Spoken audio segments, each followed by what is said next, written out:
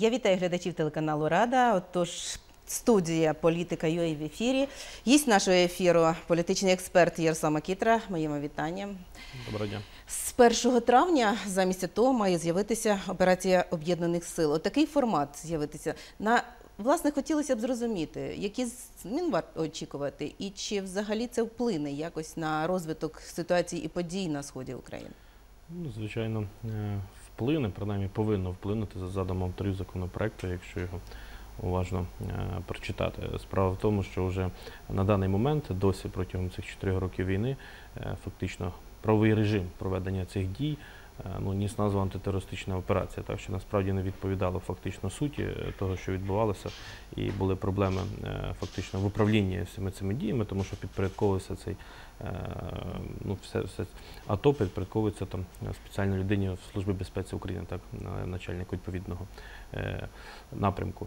І, але в той же час антитерористичні операції не були заділені і війська, і в принципі поліція, і ціла низка не інших органів. форматами. Не передбачено на то, і взагалі їхнє ну, підпорядкування Службі безпеці України. І на практиці це призводило до того, що кожен маючи своє власне е, управління е, до планування операції, особливо на реакцію на якісь оперативні події, призводило до дуже складної комунікації, важкості прийняття рішень е, в тих чи інших. е, е, Ну, тих чи інших випадках. Тому а зараз створюється спеціальний центр підпорядкування, якому підпорядковуються усі практично, ну всі в принципі всі відомства, які здійснюють е, заходи, по вже тепер будуть називатися по захисту територіальної цілісності, там від російської агресії, в тому числі підпорядковуються і органи е, військово-цивільної адміністрації на місцях е, і так далі. Тому створюється єдиноначалі, називаємо так, і збільшується там, в принципі, е, повноваження президента, тому що раніше території, які перебувають в АТО, е, перебувають в зоні антитерористичної операції, затверджувалися Кабінетом міністрів. Зараз території, які вже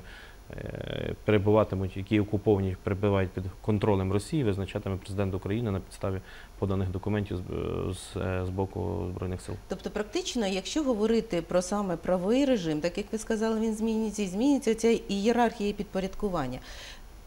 Фактично очікувати якихось змін стосовно там військових моментів пов'язаних або змін, які можливо навіть пов'язані з елементами або початку повернення цих територій, не варто. Вона Ну, вона на ці моменти якраз не впливає. Цих питань воно не чіпатиме. Ну, сам законопроект, звичайно, що таких е, питань Мгм. напряму не чіпає. Це законопроект, головна його ціль переформатування фактично того, що відбувається, і введення більше в його в реальність, е, а не з, площини де юри, площину де ми на факто. правовому рівні що фіксуємо? Ми фіксуємо те, що було де-факто. Так, Тепер так, так, так. у нас з'явилося де-факто. Ми маємо. Ми отримали от таку ситуацію, от таку субординацію і таку координацію. Ми її просто зафіксували на Ну, правовому рівні. Тобто, те, що було де-факто, тепер уже не, в нас не є просто, скажімо так, вели те, що було, але внесли елементи там новизни в управління, тому що, е, повторюся, зокрема, і повноваження президента розширилися значно, зокрема, визначені цих е, територій. Але до- щодо того, як буде здійснювати сама операція і так далі, ну це оперативний день. Очевидно, це секретна інформація, навряд чи можна її Ну, от обговорювати. багато хто каже про те, що це підпорядкування президента дозволяє йому ну самовільно обходячи от всі процедурні моменти, пов'язані з кабінетом міністрів і, зокрема, Верховної Ради, запровадити воєнний стан на цих територіях. Наскільки ці повноваження президента дійсно прописані от таким форматом, який буде передбачати нинішній уже Є, є, є звичайно зауваження. Зокрема, і в е, головного юридичного експертного управління були зауваження до цього власне пункту, де фактично повноваження президента розширюються, навіть якщо враховувати там конституції інші законодавчі акти. Зокрема, те, що по поданню е, генштабу президент е, затверджує території, які перебувають окуповані. Але що в нас було на практиці? От ведуться бойові дії, так певні території підходять під контроль ворога. Але тим не менше, ми там ну здійснюємо ці чи інші дії. Потім десь юридично це якось фіксуємо на рівні там кабінету міністрів, як фіксувалися ці території, які перебувають е, в зоні дії операції. Там так далі була складна процедура. До чого це може могло призвести до практики? Тому що люди, які приймають певні оперативні рішення, вони дуже обмежені, і їхня необхідність прийняття рішень в тій ситуації є складно було приймати будь-яке рішення. Спочатку потрібно було рішення приймати особисто, потім це Ну, узгоджувати з певними структурами і так далі по Ну, ієрархії. І оперативність е, Втрачала втрачала. оперативність. Звичайно, раз втрачала оперативність, Мгм. і інше, що багато частина прийняття рішень, які приймалися, не були вимушені для захисту територіальної цілісності, але тим не менше вони були поза межами закону або межували законом. Тому е, ну розумієте, як людині приймати певні рішення, розуміючи, що це є порушенням закону, але така є необхідність. Тому щоб усунути всі ці моменти, цей законопроект десь в принципі це все загалом ну врегульовує ці питання. Але знову ж таки буде практика, всього врегулювати неможливо і. Бачимо на практиці, які виникатимуть, звичайно, там десь нюанси, але те, що це має призвести до покращення, для цього створені всі умови, ну це очевидно. Але тут потрібно, е, бо досі діяло два, два режими, фактично. Це антитерористична операція, це те, що ми здійснювали. Другий можливий варіант захисту, е, захисту там звільнення території ворога, це було ведення військового стану, по суті, війна, оголошення війни Росії. Ну, Зараз введений третій окремий режим, так званий оцей. е, Ну, це не режим воєнного стану, бо багато хто казав, що практично цей режим вже передбачає елементи воєнного стану. Ну це передбачає на, ну, на тих територіях, по суті, так ну, ведуться е, військові дії. Тобто на них. створення оцього оперативного штабу і от е, формату, який ми переходимо, це фактично воєнний Ну, стан без тих елементів, коли, наприклад, людей позбавляють майна або всі інші обмежуючі Ну, права зовсім- людей. Це, це не зовсім військовий стан, тому що не мобілізовується е, країна, яка є за межами е, території проведення Тобто мобілізація відбувається на окремо взятій Е, території. Ведуться дії на окремо взятій е, території. Президентом затверджуються ці території, де здійснюється окремий режим управління і окремий режим здійснення тих чи інших заходів. А і от власне, ро- Мгм. отже, коли розширюватиметься ці території, отут, тут власне є ця маніпуляція, де, де звучать ці застереження, до чого це може призвести. Тому що, повторюсь, коли визначає Генеральний штаб територію, де проводиться АТО, е, він подає президенту, президент сам е, вільно, ну так сам згідно закону цього затверджує, так скажімо. одноосібно так затверджує. От Тоді власне і виникають питання, чи не будуть якісь території туди віднесені, ті, які ну будуть сумніви, Тобто чи не повинні там може бути. на власний розсуд вирішувати, ну так можна сказати. Я саме зараз Мгм. з правової точки зору, але обходячи там ці юридичні терміни, тобто одноосібно може вирішити, де і на якій території вибори можуть не проходити, наприклад, якщо президент е, це тепер в його волі визначати. Ну, ну теоретично це може відбутися, звичайно. Так? Якщо будуть визначені ті угу. чи інші території, території, де проводяться дії по захисту територіальної цілісності, буде відповідне подання генштабу і президенції території затвердять, очевидно, що на них не Це проводитимуть. має, можуть бути лише території, які закріплені за території проведення. Ну зараз не антитерористичні або операції спеціальних об'єднаних сил, або можливо території, які наближені, тобто сіра зона і зона, ну скажімо, особливої уваги або особливої небезпеки, яка буде дотична до е, лінії розмежування. І от скажуть, ні, тут не можна проводити вибори, бо можуть бути провокації, і навіть можуть долетіти туди снаряди. Тому ми тут не проводимо. Президента є такі повноваження Ну, по, вирішувати? по суті, так. Визна, чіткого визначення і на підставі чого е, здійснюється, от, власне, складається ця карта. Ну, чітко законопроектом воно настільки детально не передбачено. Маніпуляції е, там завжди можливі. І така ну, небезпека, звичайно, е, звичайно, є, що можуть бути там віднесені якісь території, які не по, ну, по суті там можуть не, не бути. Але Тобто законопроект реально тільки не узгоджуються такі питання. Сьогодні президент може такі е, вирішувати і розставляти акцент. Може, може розширювати Мгм. територію, але тут ми повинні розуміти ще інше. Ну і це правильно, і це потрібно звертати увагу і ну, десь не запобігати можливо маніпуляціям. Але тут також треба розуміти інше, що президент є головнокомандуючий, віддається війна між Україною Тобто і Росією, і він, він повинен мати належні повноваження для того, щоб захистити Тобто ми зараз обговорюємо такі питання мирного часу, питання політичних моментів, пов'язані, скажімо, з тими ну, активними дискусіями, які ведуться. Але якщо говорити саме про е, національну безпеку, про питання е, здійснення, ну напевно, оперативного якихось воєнних дій, тоді така е, схема спрацює краще ніж те, що було. Тобто така розкоординація і нечітка ієрархія, яка Ну, раніше повинна була спрацювати краще, скажімо так. Повинна, Мгм. принаймні такі умови для цього е, створюються. Але що ми побачимо на практиці, ну це вже з часом зможемо оцінити, наскільки це було десь ефективно, десь ні. Але той факт, що це крок, напевно, все-таки вперед, і як мінімум відхід від тої ситуації, ну абсурдної, яка носила назву АТО, ну це очевидно, що це є плюсом. Ну, обходячи, якщо навіть неформально підходити до цього питання, то хотілося б зрозуміти, от створюється е, об'єднаний штаб, був центр управління АТО. Різниця між цими е, центрами і координації і дій на місцях, вона якась є суттєва?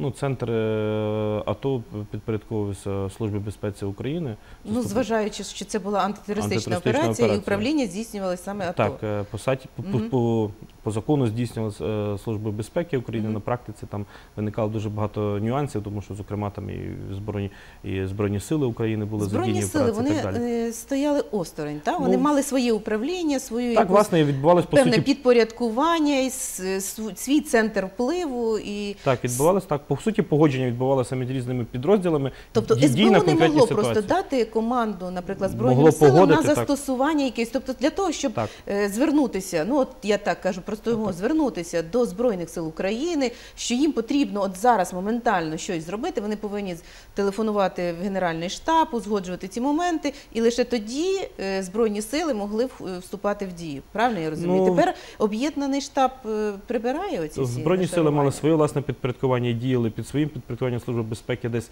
е, під Тобто. І було багато скіль- не- кілька неузгодженостей. стовпів управління. так? Звичайно, було стільки- де, е, багато неузгодженостей, Мгм. хоча формально за всю антитерористичну операцію відповідала Служба безпеки України. А зараз створюється окремий е, штаб, який підпорядковується напряму головнокомандуючого, тим більше, і до яким чітко закріплені повноваження, Мгм. від підпорядкування якому підходять всі органи, які здійснюють територіальний захист, ну, територіальний захист країни. Е, на цій території. Наскільки може змінитися управління ну, на рівні цивільних е, питань? От ви сказали, що навіть адміністрації тепер будуть підпорядковуватися от е, цьому оперативному штабу.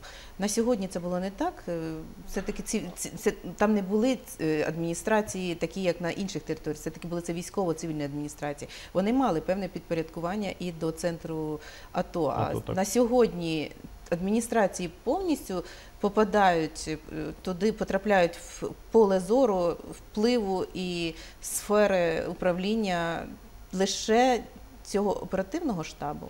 Ну, виходячи з логіки законопроекту, так, звичайно, е, Тобто вони не підпорядковуються ні приз... ну, населених пунктів, адміністрації населених пунктів, там на районів, не областей, і власне населених пунктів так підпорядковуються е, штабу на місце, більше того, можуть формуватися там з військових і так далі. От, власне, ну тому, ну повторюсь, тут е, законопроект законопроектом побачимо все це на практиці, тому що ну дуже багато там нюансів, дуже багато таких питань. Е, Ну ніколи ніколи всі неможливо передбачити усього, звичайно, але є тобто багато ідеального не може Да, але є багато питань, і тільки практична реалізація яких дасть відповідь е, чи в правильному напрямку. Все це піш... Ну, все це практична пішли реалізація чи розпочинається з 1 травня. Власне, тоді має запрацювати інший формат е, в цій зоні. Але от е, якщо говорити про перспективи, як можуть розвиватися події далі? Наскільки дійсно ми можемо підготувати такий, таку платформу для того, щоб е, туди зайшли миротворці?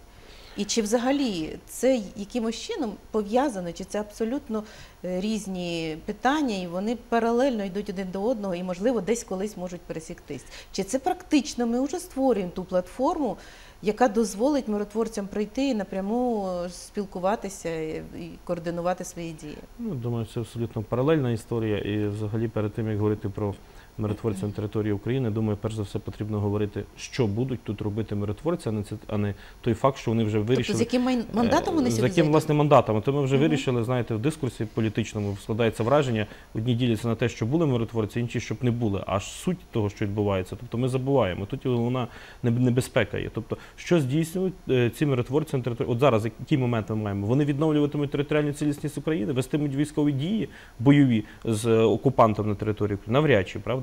Якщо ні, то що? Мінські угоди виконані, вони не виконані. По факту, взагалі, ну як на мене, там є багато шкідливих моментів для України, але ну, це окрема тема для розмови. Але мінські угоди не виконані, немає певних домовленостей. Відповідно, не можуть ООН забезпечити виконання цього, ну, що на практиці не затверджено. Тобто розраховувати на те, що ООН буде допомагати впроваджувати там чи мінські угоди, чи захищати територіальну цілісність України, що хтось приїде там, я не знаю, з Албанії, з Бангладешу чи з Пакистана воювати за українську землю і погоджувати з нами цю війну. Ну це абсурдно. Такого не буде. І тут потрібно чітко розуміти. І взагалі ведення ООН на території України при теперішній системі правовій можливе тільки за згодою в принципі Російської Федерації. так, так. Якщо Російська Федерація дасть таку згоду, то очевидно тому передуватиме е, виведення своїх військ тих територій, е, віддача під контроль України десь цих е, там територій, то тоді вже смисл тоді Ну, але цього ООН мандату, дивіться, правда? Україна може сама питань відтворити. навколо це. миротворців. Ми ж не перший рік про це говоримо. От власне Петро Порошенко ще з 15-го року про миротворців почав розмовляти, тоді не був почутий. Зараз ніби активніше обговорюють, але чим більше про це говорять, тим більше з'являється таких незрозумілих підводних рифів і таких глухих кутів, куди ми заходимо, і власне з них важко вийти. Е, З'являються різні варіанти, так як ви кажете, щодо мандату, з яким мають зайти, і навіть щодо території, які вони мають обіймати. Якщо говорити про Росію, Росія має свій план запровадження миротворців. Вона навіть вийшла зі своєю ініціативою їх введення на Донбас. Але ті умови, наскільки вони можуть прийня... будуть можуть бути прийнятними для України, щоб вони от зайшли як охоронці для місії ОБСЄ, а не і зайшли лише, скажімо, на лінії розмежування. І в разі, коли буде ОБСЄ здійснювати свої операції, то тоді виходять миротворці, так як ніби як охорона, і можуть вони також проводити свої функції на Ну, такий територіях. режим може призвести до Мгм. перешкоджанню Збройним силам України по встановленню контролю над е, територією України, взагалі доведення дій, коли е, на, на, на Тобто нашій практично території дії української сторони будуть взагалі заморожені. Будуть, будуть обмежені, принаймні в оперативній, е, оперативно обмежені. І взагалі потрібно розуміти головне і не подавати як приїзд іноземних військ на територію України, віддачі їм під контроль певної території, як, як здобутки і благо для України. Це віддати це віддача це частини суверенітету України, і це може відбуватися в крайніх необхідних випадках, коли іншого варіанту немає, і коли це справді не сприятиме поверненню тих територій. А зараз нам подається як приїзд у місії ООН дуже часто, як якась перемога України і дуже велике досягнення, що на українській землі будуть іноземні військові формування. От це, Але це, з іншого боку, це розпис ви, у власній не- ви бачите перспективу повернення миру на Донбас без миротворців? А я не бачу її перспективи із миротворцями. Ось чому проблема. Тобто ви не А бачите сказав, перспективи, що, з вони взагалі там можуть з'явитися, З- так? В чому я, я, звичайно розмови, чому ведуться взагалі про е, місію ООН зараз, і в чому головна е, задача, очевидно, аналізуючи те, що відбувається, тому, що і немає прогресу по вирішенню конфлікту на сході, так по вирішенню по закінченню війни. І потрібно, звичайно, суспільству демонструвати якийсь рух і певні позитивні зміни. Звідси з'являються теми про миротворців. Звідси багато уваги до зустрічі Суркова Волкера. Надзвичайно потрібна ця увага, але занадто багато трактувань сказаного. Тобто ви хочете і так сказати, далі, і так із-за того, що війська стоять на своїх позиціях уже кілька років, вони не рухаються. Ми повинні переводити цю дискусію в іншу площину, і тепер перевели її в бік миротворців. Звичайно, суспільству потрібно демонструвати рух, поступальність, певно. Оскільки це не можна зробити військовими силами, то ми бачимо таку дискусію. е, Дискусію, такий дискурс. Ярославе, але все-таки дійсно з'являються інші варіанти введення миротворців і з українського боку. От згадаємо план Авакова. Він з'явився власне після того, як він повернувся зі США. І з'явився такий комплексний план, і він де в чому навіть десь е, схожий до російського, ну так можливо, це вже я сильно зараз скажу. Але є моменти, коли він також заявляє, що миротворці мають зайти на лінію розмежування і поступово, е, крок за кроком, повертати ці території з проведенням там виборів. От план. Як ви його оцінюєте? Ну, по-першому, а хто автор цього плану? Е, Міністр внутрішніх справ. Напевно, це його компетенція. Навряд. Є президент е, України, напевно, він би мав виступати з такими власне ініціативами. Ну, якщо у нас кожен міністр е, здійснюватиме поїздку за кордон, а потім е, озвучуватиме свій план ведення миротворців на території України, тим паче, коли він десь суперечить моментами із тим, що говорить головнокомандувач, ну напевно, це десь неправильний шлях. Тому потрібно тут виходити власне з цього. І взагалі ну мені важко зрозуміти. Ну добре, Аваков озвучив це. Яким він чином це має з ким він це обговорив конкретно, яким він чином це планує безпосередньо здійснювати. Це консультація президенту, який приймає рішення, консультація кому, це е, рекомендації кому. Ну як політик він очевидно має право такі ну, речі тут він не як політик, він це такий Але- як міністр силових структур, е, е, підпорядковані, які йому ведуть е, власне політик свої має- дії е, в цій зоні. Тому, власне, це те, що сказано, має мало практичного значення, має на увазі практично по реалізації там миротворчої місії і так далі. Е, Тут чітка одна задача це політичне позиціонування особисто Арсена Авакова, який дедалі більше демонструє свою рівнозначність, як мінімум, то і вище над президентом України. Тому вже лазить, скажімо, в Тобто ту такі територію пропозиції ви вважаєте, президента. що з'явилися лише на тлі е, політичної конкуренції, а не механізму, скажімо, свого бачення Я вважаю, що це розвитку ос- ситуації на, на території. Я вважаю, що це основна причина, це політична гра. То, що є своє бачення, це Новака і в багатьох, я думаю, міністрів, і не тільки, в- і в тому числі в команді президента є окреме бачення на, на різні процеси, яке часто не співпадає з головнокомандувачем і так далі. Це, це зрозуміло. Але не всі ж це озвучують. Ну от якщо говорити загалом про ситуацію і про мінський процес, Е, мінський процес А як він далі розвиватиметься на тлі оцих всіх е, питань, пов'язаних із миротворцями, з усім, власне, він і миротворців не передбачає, але ніби вже і на це закрили очі. І мінський процес спочатку запроваджувався з конкретними термінами дії, коли він мав би завершитись. Він у нас уже тепер отримав такий статус безкінечного. Тобто, що у нас насправді відбувається, і от як ви бачите розвиток далі? Е, Ну, зменшилась інтенсивність е, військових дій. Це головне до чого головне досягнення цього е, документу з сумнівною юридичною силою. Але е, головна проблема мінських угод зараз, і це те, що буде в майбутньому, це їхня практична імплементація в законодавство, зокрема в законодавство України. Там прописана ціла риска норм, які потребують змін на рівні конституції, на рівні законодавства українського. Усі спроби про чим Мгм. закінчилися дві спроби внесення змін е, в законодавство України мінських угод. Перше це до жертв на- нацгвардійців біля Верховної Ради, коли президент виносив зміни в конституцію. Ми пригадуємо Мгм. перший раз. І друге це голосування за Ну, і закони там же в ж є Верховній Раді. давайте згадаємо, Так, і так. ви- проведення виборів, і все інше. Це- Тобто є політична частина, не виконується перша частина. Що за чим, порядок, який виконання цих дій, також багато дискусій. От питання- Таке враження, що дійсно це той глухий кут,